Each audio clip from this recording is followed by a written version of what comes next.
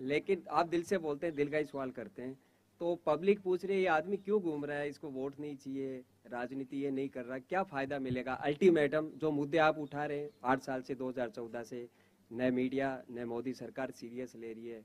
Public result दे चुकी है लोकसभा, राज्यसभा में। तो वो कह रही है क्यों घूम रहा है? ये व्यक्ति इसलिए घूम रहा है क्योंकि इस देश में बीजेपी ने डर और नफरत फैला दिया है।